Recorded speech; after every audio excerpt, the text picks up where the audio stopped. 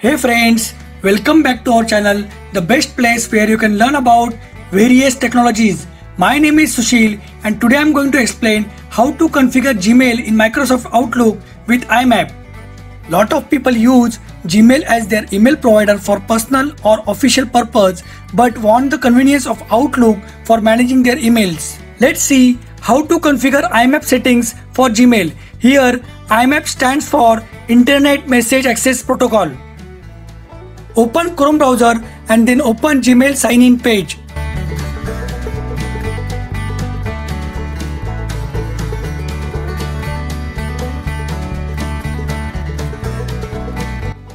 Now sign in to your Gmail account and open the settings panel.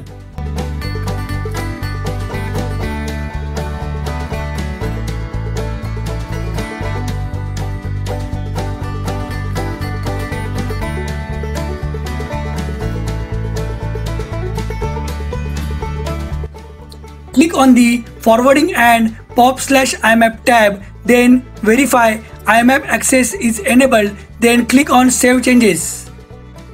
Open the settings panel again and click on the accounts and import tab. Now in change account settings section, click other Google account settings. It will open another window. Then click on the security tab.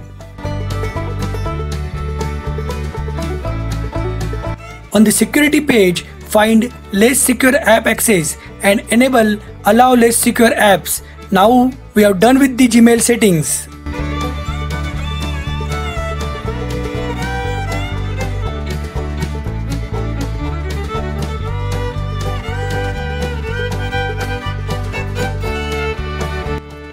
Now open Microsoft Outlook.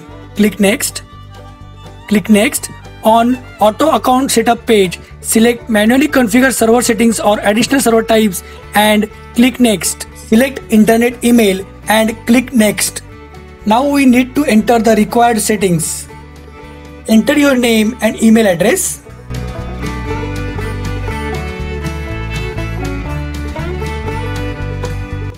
Under the server information section, select account type as IMAP. Incoming mail server is imap.gmail.com and outgoing mail server SMTP is smtp.gmail.com. In login information, provide your username and password. Click on the More Settings button. Now click on the Outgoing Server tab and select the box next to My Outgoing Server SMTP requires authentication. In the same window, click on the Advanced tab. For incoming server IMAP, enter port number 993 and select SSL in Dropbox. For outgoing server SMTP, enter port number 465 and select SSL in Dropbox. Before clicking OK button, please make sure port number 993 and 465 is displaying. Then click OK. Now click the button test account settings or simply click the next button. It will test your account settings and display the results.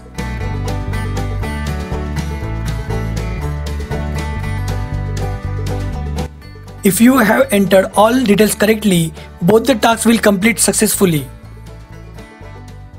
Now click finish to complete the setup. It will open Outlook.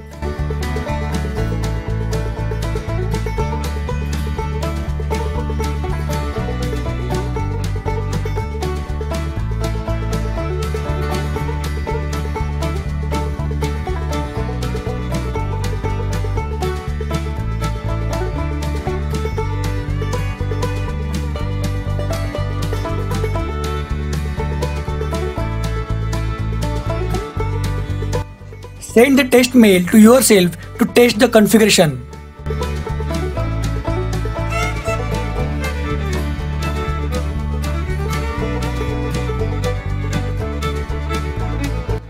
Now your Outlook configuration is completed, you can start using your Gmail on Microsoft Outlook.